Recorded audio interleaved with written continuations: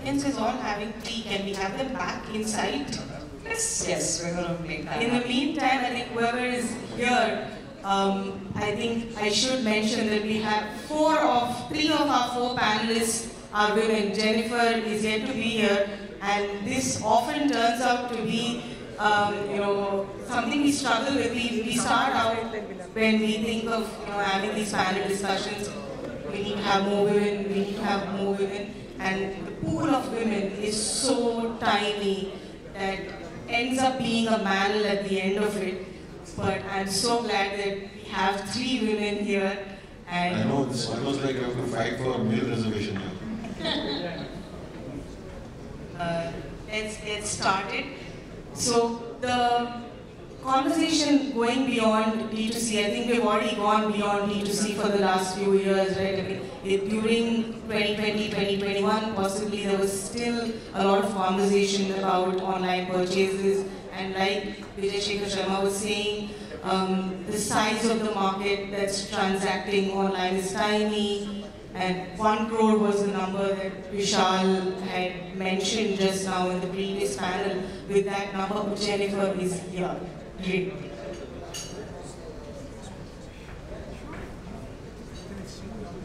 Thank you, thank you for being here. So, uh, Jennifer, I was just, now that you're here, I was just mentioning to everybody in the audience that we have three of the four panelists here are women. So, something to be proud about today. And we're talking about going B2C. And if I could start with you, when I was doing research for this so, um, panel, I came across a very old story about CaratLane on POI. This was about 10 years ago, and the headline for the story was the trick to save up, save up to 40% on diamonds. And this is, of course, aimed at consumers. And then the story went on to read that you know consumers should consider buying diamonds on websites like CaratLane because these kind of companies can save on retail space, staff to manage it, etc. So they said, oh, you should definitely go buy online even if it's a diamond. And cut to 10 years later, Carrot has opened its 200th store. 240th store, wow. So in, in 10 years, we've gone from online only to majorly offline, right? And so my question to you is, how do you balance reaching that larger audience now with your offline strategy, but giving them the same benefits of it being a D2C brand because that's what they're coming to you for. It's been built on that premise that if I go to CaratLane, it's going to be cheaper than somebody else that is an offline brand. So how do you balance this? Uh, first of all, sorry for joining late. I was stuck in the Perindal Mumbai traffic. Um, it's a very interesting question actually, and we get that a lot because we launched as India's first online-only jewelry brand. But uh, at that time, the idea was to make jewelry affordable and accessible so that more people can buy diamonds in India. So the best way and the quickest way to do it was launch the brand online because the reach is unparalleled, right? Like you said. And because we did not have offline stores, we could provide the jewelry at a lesser rate. And we did uh, offer it at 30% lesser than the market rates. But we soon realized that in a category like jewelry, uh, if you want to scale beyond the point, because the average price point that customers buy online is about 20,000. And if you want to increase that price point and you want people to try your jewelry before they buy, which is a very big lever while deciding on what jewelry they want to buy, you need to give them some touch and feel uh, offline. We started with some experience stores where we said that some of the jewelry will be displayed and you can come and continue to browse the catalog online and try a few pieces. But that was a big fail because when customers walk into the store, they're expecting to see the jewelry, not sit in the store and browse online. So I think that's when we realized that if you want to take this business to, you know, we did about 2,200 crore last year. Uh, if you wanted to take it to that scale, you have to, uh, you know, explore the offline stores. Uh, but even though 90% of our transactions are happening offline, all the discovery is only online. So we first target the customer online, get them to browse and be enough invested and find the product they are looking for, and then they walk into the store merely for the transaction, in a sense. So all the discovery and the research happens online, and offline is just a channel. So we don't discriminate between a store or a try at home channel or our live video uh, purchase channel or online. They can buy wherever they want, but obviously the sales are happening, uh, you know, more in the stores. So yes, now we may not claim that we are 40% cheaper, but of course, um, you know, we moved on from that proposition to say that we are in the business of helping people express emotions and being available in 24 hours or being available close to the customers is part of that proposition. So that's how the brand has evolved in the last decade. Thank you. Deepti, if I can come to you now, you've worked with HUL in the past and now Sleepyhead. Uh, you have a variety of experience. I would like you to tell us a little about what is common to building a D2C brand like Sleepyhead that's now possibly going offline, you know, and with that also is coming a bit of diversification, etc., furniture, all of that. So what are aspects that are common to building a D2C brand that's possibly going offline and an existing brand that already has a traditional um, retail model. Yeah. So um, what I would say is that I think the core of D2C is innovation. Um, and, and, if you have a unique product uh, which comes from either a stated need of the consumer, I have this need and therefore I want this product, or a latent need that you are able to uh, you know, mine and get a product there. Uh, Sleepyhead also started with mattress in a box, and that was a unique concept. It was COVID, people were not able to go to stores and get a mattress. So instead of delaying that purchase, they decided to get a mattress from know, one of the marketplaces probably, and not even probably from the D2C site. Um, and once you get that mattress, you see the quality, then you go on the Sleepyhead website, and then uh, you know discover other products that we said, whether it is furniture, home decor, and then you truly become a loyal customer or somebody who at least has Sleepyhead in consideration set when making purchases in these categories. I think to that extent, um, capturing consumer behavior, capturing consumer need will remain constant whether you're selling B2C, B2C, B2B, and as I have said this before, it is eventually edge to edge, human to human. Um, so I think that definitely is like the common uh, thing. But what happens is that, like you said, I worked across companies like Unilever, Stanley, Nokia, who were offline first. So even when we joined as a management trainee or a brand manager, we were given educational hand down, which was about behaving based on point of purchase. So how you behave in a hypermarket is different from how you behave in a family grocery store, is different from how you behave in a wholesale. Uh, and those were the different channels that we were taught about, right? And then came the whole wave of online. I would definitely say there is a difference in attitude and how marketing is done fundamentally uh, when you're moving from offline to online because you're in your AIDA mindset.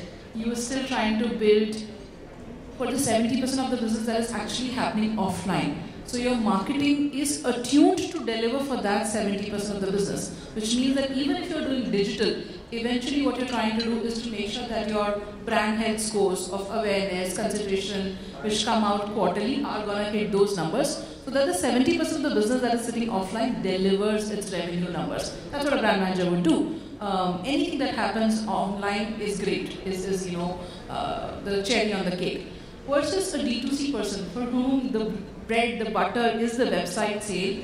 For them, there is no time for AIDA. When I run an ad, this has to convert, right? So I want all of the purchase cycle to happen within this ad. And therefore, you know, a Meta or an Instagram becomes a lead channel where you're tapping onto impulse purchase or you're trying to create a demand and therefore deliver all in one ad. So I would say the mindset is very different. The way uh, creatives are developed are different. The media mix is different. Um, I think the D2C first brand is far more consumer centric.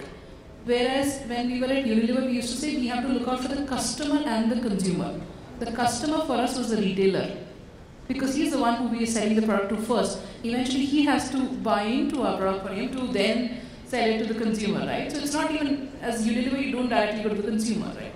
So the customer or the partners or the trade partners, for that matter, have a have a formidable role to play even in media choices. I can tell you now, some of the print that you do is not for the consumer. It's for the trade partner. It's for the customer. So you, you know that you know maybe this is not going to get consumer interest, but you want to tell the trade that you know we've got money, we've got muscle, we got your back. You even include sometimes the names of the partners on the, the bottom panel of the print. So every media has its own role to play, and I think uh, yeah, those are the differences and the similarities to answer your question. Thank you. Hari, if I can come to you now, and um, I was reading that uh, Earth Rhythm now has a few kiosks in tier 2, tier 3 markets and the, the, the trend in the personal care category has been that Nykaa and uh, someone that you have funding from, Sugar, have all gone offline. So what are some learnings that you've seen from these brands that have gone offline and something that you've applied to Earth Rhythm? So one thing that in fact um, uh, Kaushik of uh, Sugar had once told in, in, in, an interview was that the kiosks are not as profitable as you would expect them to be. So what has your strategy been? How are your kiosks doing? What's your outlook? So, uh, firstly, what you said is 100% correct. Uh, tier 2, Tier 3 kiosks work better for us also. And that's traditionally because um, in Tier 2 and Tier 3, you have aspirational consumers as against metros where consumers are more, um, the access to product is much easier in metro cities and the ease of use and the, the education, the knowledge, everything is much higher in the metros. So when you go to tier 2 and tier 3, the consumers become more aspirational and they want to you know, somewhere match up to the metro standards. So that became easier for us to probably survive in an environment like a tier 2 and tier 3 and that uh, we opened about 14 kiosks pan India um, this year. And out of these, um, if I have to be brutally honest, we shut down most of the metro kiosks. Um, that's precisely because it's really expensive, right? For a for a small brand like Earth Rhythm to go offline, um, one we need. Um, now coming back to the previous discussion, also linking that to this, uh, when you don't invest money in, you know, probably a brand face, uh, or there is no brand recall, going offline itself is a risky venture on its own, right? Um, so I think our learnings was that um, while tier 2 and tier 3 became profitable for us simply because the consumers were more aspirational, but in metro cities to get that kind of a pull or that, uh, you know, probably to make them, you know, probably become brand loyal or brand conscious, you need to spend a lot more money into brand marketing where, you know, the brand recall is much higher. People understand the value behind the brand um, or the ethos that the brand stand for. So that's, that was our major learning. Uh, but um, Earth Rhythm on its own, on its journey right now, we're starting out to go offline. We're just taking tiny little baby steps. And kiosk was just for us to test the waters, to see how that, you know, probably even before putting money into brand marketing for us, we were trying to figure out and see today what do consumers perceive Earth Rhythm as in the market. Um, are they willing to come and probably learn about the brand or test the brand or buy the brand? So what is that that they have on back of their mind was what we were trying to do. And our learning was to probably you know take some more uh, time in terms of you know spending that money to brand building brand recall you know. Right now i think we've been very strong in content marketing. Uh, we leverage on you know um, the concept of building um, realism with consumers where we talk about uh, the, the, the brand, the ethos through probably telling real, realistic stories. For example, my own story as a homemaker, uh, being a seven-year homemaker and then starting a brand in itself was very inspirational to many consumers to probably figure out and see, hey, what's this brand all about, right? So that was the strategy that we started with, um, telling a lot of stories. Storytelling is one big, big aspect of, you know, um, digitalization, right? So storytelling became much easier. We were able to talk to consumers directly and tell them. So one example that went viral for us was Um, in, in the initial days of Earth when we started, um, you know, I'm talking about when we were still very, very tiny and, you know, we had like five, ten employees with us. I had hired um, some people with disabilities who are on the spectrum, autism and Down syndrome, to work with us to do labeling. Right? One consumer had ordered a product worth 500 rupees, and the label was stuck a little bit like, you know, it was not aesthetically stuck.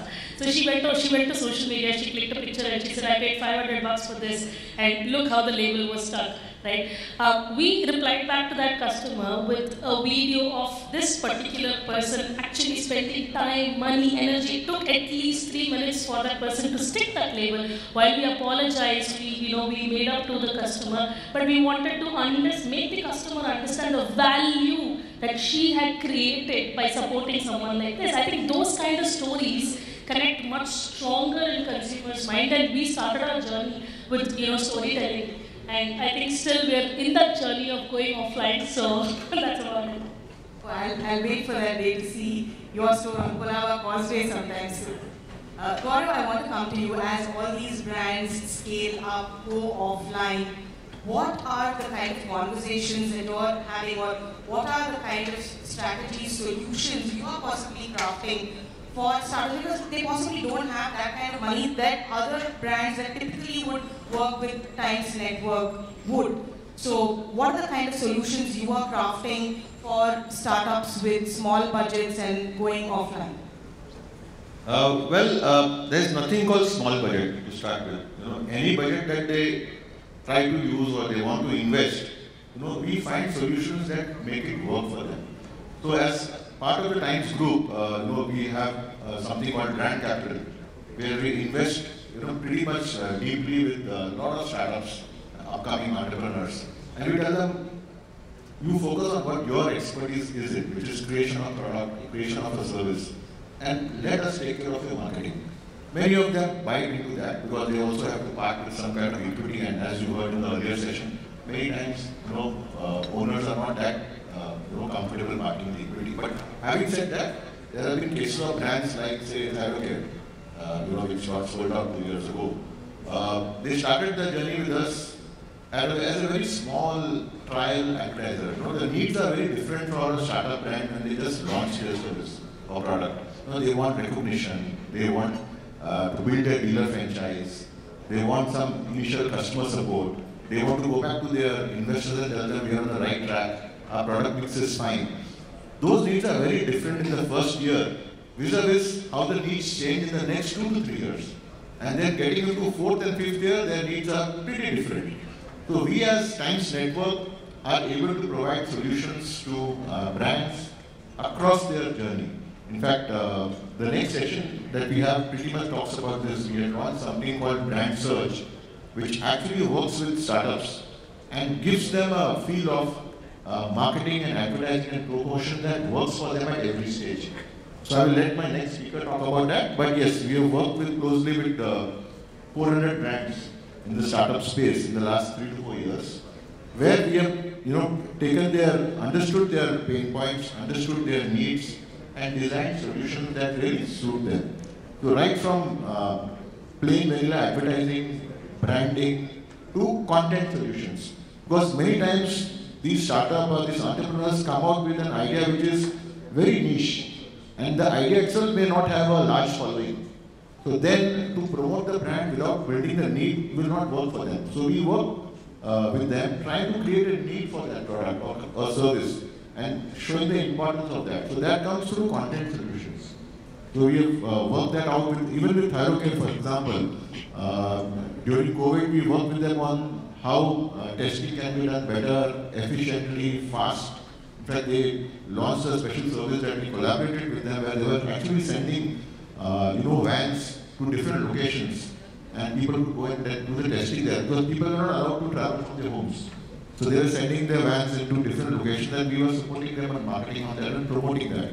So as their needs change and evolve, uh, we keep uh, partnering them and keep creating that value for them. Also, most of the time, uh, the startup, uh, you know, enterprise, they want not only consumers to come on their, uh, you know, uh, platforms or their services, they also want further round of investing. Right? So next round of investing, we also work with many of them on helping them create that kind of equity with the stakeholders. You know, for example, we have ET now, which is a uh, channel that talks to the investor community. So we do campaigns and we do content on that platform to influence the, uh, the community and create a positive vibe towards the brand. So it helps them get the investor community engaged. We do several ground events with brands where they can also touch and feel consumers and get a sense of what the consumers feel or what they want to do with them. For example, we did a lot of work with uh, mutual fund company where they wanted to target different kinds of uh, user groups. They wanted to target housewives. They wanted to target army jawans, you know, widows of jawans, stuff like that. So we help them target that at the ground level and create that need that guys, it's just not for the experts, it's also for the arm army. So we do a host of activities that allow these startups to you know unlock the potential from a very small budget to a very you know, intense uh, plan that they want through the year. Jennifer, if I can come to you with um, changing your focus from online to offline, how do you redistribute your ad spends, marketing budgets um, through the year? Are there new areas you focus on? Um, work with brands like Times Network and all. this content a big a part of your advertising strategy now? How do you look at it when you go offline?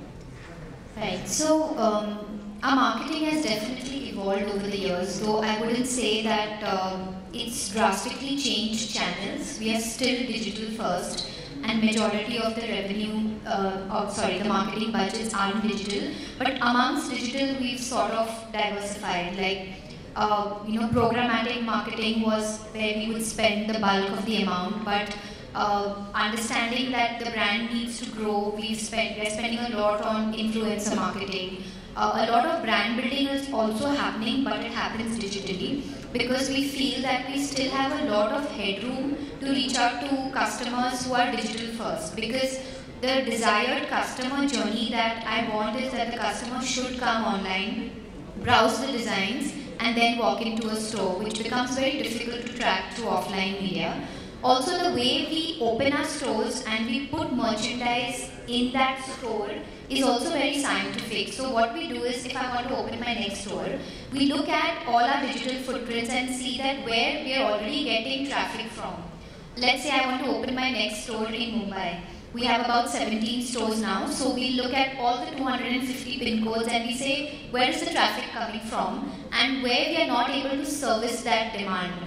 So we know that we need to open the store there, and that's how we take care of store profitability because before the store opens up, you know that there is a latent demand, and then you you maximize that demand by opening the store.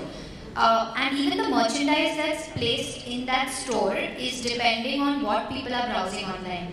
So it's everything is very digitally stitched together. So when I'm browsing from a certain pin code, I see what is available in a store close to me. So the chances of me walking into that store are very high and hence the conversion at the stores is very high. So because of this reason, we prefer, um, it's worked for us, uh, the digital marketing route. Within digital, we are trying a lot of social media, new age uh, platforms like Quora, etc., where content is helping us, you know, drive sessions to the website. But yes, it's largely digital, specifically because uh, you know, we want to track the consumer journey very, very thoroughly.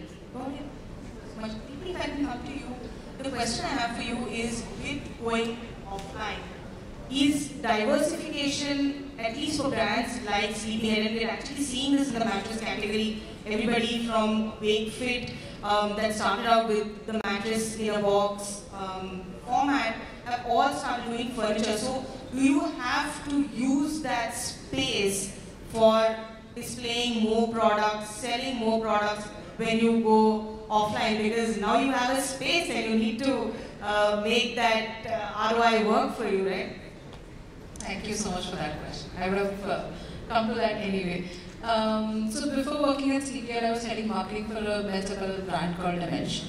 And I have sat in both these discussions of opening your first store and finding out revenue per footage and you know how how many of my I, I we always as a marketer have a conversation with the sales guy who says how many of my products are going to get displayed. I want everything from every category to get displayed in that store, but I think there's a lot of maturity that has also come into D2C brands and saying that listen, when you open an exclusive brand outlet, it is a permanent hoarding that you're putting out, and therefore it's a brand asset.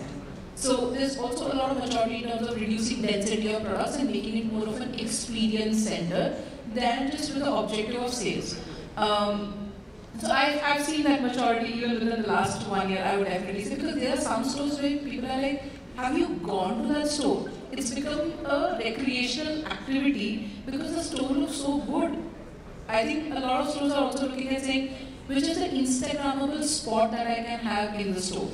Because those get shared and you know you build your entire loyalty program around it saying every time you come to the store you get 10 points. Uh, every time you snap a picture in the store and share it on social media you get 10 more loyalty points. So there is a lot of need to make it an experience center a hangout center and not just worry about the immediate sales but just say that listen you got to place in the heart of the consumer and that will eventually give you returns but right now you just have an experience center um, so that maturity is definitely happening, but I would definitely say that uh, eventually the sales team is not just going to let you have it right. There is a huge capex that goes in into creating a store.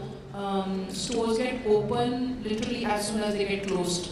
Um, so there are, uh, like um, Jenny said, that there are you know these indices that Google gives you, which is you know category development index, brand development index you look at areas which have high category development index and your own brand development index is high, which basically means the category is also doing very well there and there's a lot of demand for your brand as well. And therefore you might not necessarily be serving the entire audience through online because their preferred mode of purchase is offline, open store there. So there is a lot of science that now goes into saying where should you open the store. For example, another thumb rule is the distance between your two stores should be at least 10 kilometers. Because anybody in that radius will anyway come to the store. You know, ton of these. So I would say when you're going offline, there is definitely multi-brand outlets where you're looking at revenue, additional source of income. There is exclusive brand outlet which you're looking at extension of your brand personality as an experience center. But I think the one thing that none of us on this panel can walk away from is the reason to go offline is profitability. So Harini, I want to come to you last. Uh, we have a few minutes left. Is Jennifer and Kevin shared some very specific, interesting nuggets about their journey. What is one thing that you will possibly pick up from each of them that they have done with their brands going offline that you can apply to your young brand? I think um, from what I was um, Deepti comes from a very heavy offline driven uh, experience if I'm not wrong.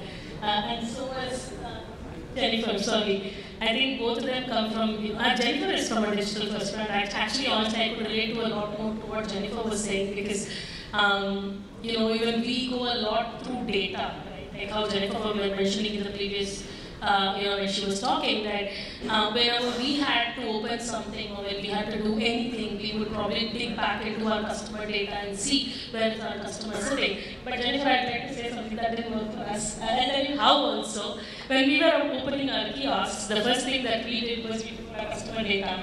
We were figuring out to see which was our, you know, where is the traffic coming from. And it was on New Delhi. New Delhi is our number one, you know, city in terms of revenue, where, you know, revenue is coming from. And we opened a kiosk in Surrey City Arcade and we shut it down in three months because the rent, right? Exactly, expense. It was the most, you know, unprofitable uh, kiosk that we had because the rents were skyrocketing and we were not, like I told you, we, we did not spend enough on creating that awareness about the brand and even all that we were actually, you know, we just wrote off that amount thinking that, okay, at least we created brand visibility in that, in that mall there. People who walked through actually saw all through them. So we just wrote off that expense, right? But I think my the key take, takeaway from here is that um, spending a lot more time. So one more thing that I learned along the journey is um, we were contemplating when we raised the last round of funding from Nykaa. everybody around us said, Harini, you need to invest in a brand face. Come on, you're doing skincare, beauty. You don't have a brand face. How is it possible? We, I was contemplating, I was talking to a lot of my fellow, you know, entrepreneur friends, and one person gave me a valuable advice, which makes so much until today I believe in it, is you might spend a crore to get a brand face, but if you don't have 3x money to promote that brand face, don't spend this money right? Uh, unfortunately, a lot of young brands get into that mistake where they would have the money to probably get a brand face. I might get a brand face today, and it's not for my 100 employees to see within the office, right? I want 100 million people to see that face, and for that, I need that kind of budget to promote this brand face, and that's when I need to invest that money there. So I think some key learnings like these are very valuable along the way. Um, sometimes you do invest. So, for example, investing heavily on brand marketing at this point for us is not on our agenda simply because 99% of our revenues come from digital channels. So we rather spend more on, you know, uh, influencer marketing, uh, we, we partnership collaborations, you know, and stuff like that, cross-promotional collaborations. We spend a lot more money on these because that is where we see um, we, we create a lot of top of the funnel, you know, visibility at this point of time. And when we do top of the funnel, we know very well that the, the umbrella is really huge and we're reaching out to a large audience. And then we go to the middle of the funnel to see where there are these consumers, you know, sitting right now. And then finally push them into the, you know, bottommost funnel where we try to, you know, convert them into, you know, getting them an order out of it. So that's the approach that we have right now. And I think uh, my, my learnings from um, Deepti specifically would be uh, to probably, you know, um, look at creating experience. I mean, that is a very, very important point, which even I felt was, you know, looking at it in a long-term perspective, right? Um, my kiosk experience was that the minute you open, you can't make, you can't break even on the month number one, month number two.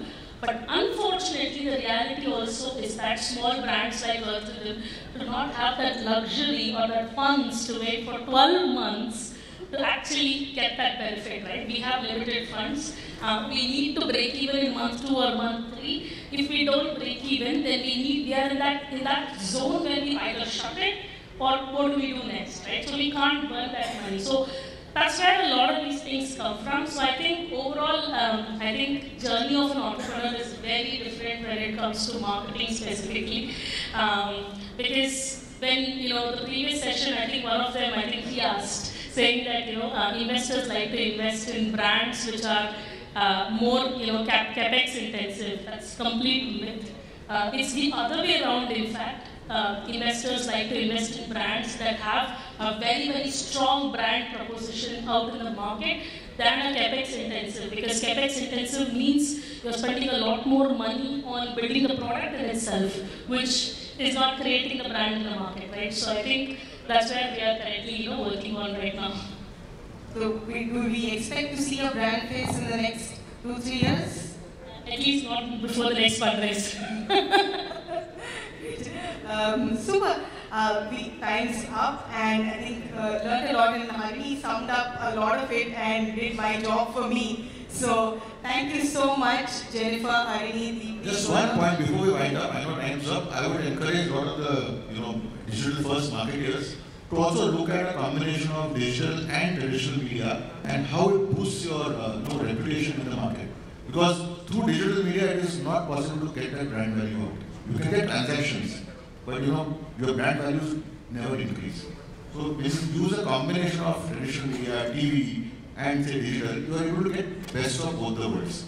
So that's a, you know, maybe I'll catch up for coffee and try and persuade them harder. But yeah, that is something which is many successful brands are doing it today. And look at Policy Bazaar, it gives you an ad on TV, threatens you कि आपके life के बाद क्या होगा, and then it converts you to the digital medium and tells you the policy online, right? So many brands are able to navigate this well and extract maximum impact.